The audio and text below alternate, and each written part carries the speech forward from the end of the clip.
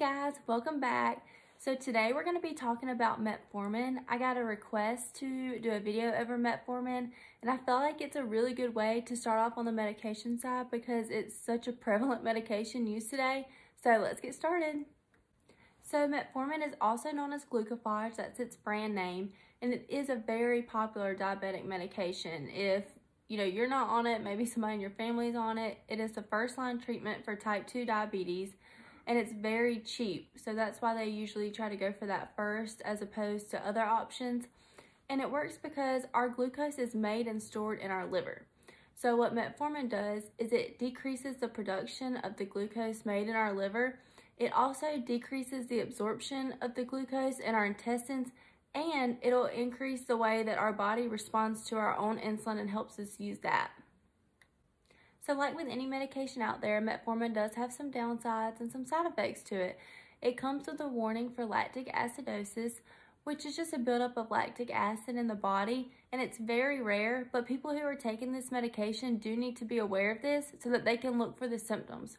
Your main three symptoms that you're gonna be looking for is muscle cramps, extreme fatigue, and a headache. And this is because what this lactic acid is doing is it's depriving our cells of oxygen. And these cells are used to metabolize things in our body. Now, the importance of this is because if you drink, then excessive amounts of drinking can also build up lactic acid in the body. So then we have a lot of lactic acid and we're more prone to this lactic acidosis. So there's usually a warning for metformin that you do not drink excessive amounts of alcohol while you're taking it. A more common side effect known with taking metformin is abdominal pain, nausea, and diarrhea. This side effect is usually so bad in the beginning that a lot of patients want to stop taking it. But what they don't know is that this is usually going to stop after about two weeks of taking it. So if they can persist for those two weeks, usually these symptoms will go away completely or decrease a lot. But if they do continue to have these symptoms for more than about a month, I would tell them to contact their doctor because there needs to be something done about it because nobody wants to live like that forever.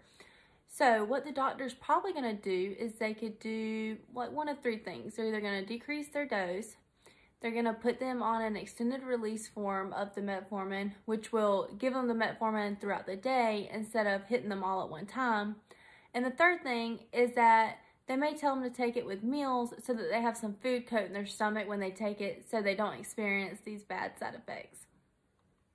One of the main benefits of metformin that both prescribers and patients both love is that it helps them lose weight. And it does this because it keeps their blood sugar from getting too high, which keeps the body from having to produce a lot of insulin, which keeps the patient feeling fuller for longer, which keeps them from having to eat as much food throughout the day, so this helps them lose weight. It's really important because these patients with type 2 diabetes are normally overweight, so metformin is a great option for you to use for them. Metformin is safe to be used in pregnancy and breastfeeding. There were studies done on it and there was shown to be no fetal harm in these patients. That was it for this video, you guys. Thank you for watching. If you have any questions for me, make sure you drop it down in the comments below and I'll be sure to get back with you about it. And as always, if there's anything y'all want to see a video over, make sure you drop that down in the comments as well. And I'd love to do it for you. And that was it for this time. I'll see you next time. Bye.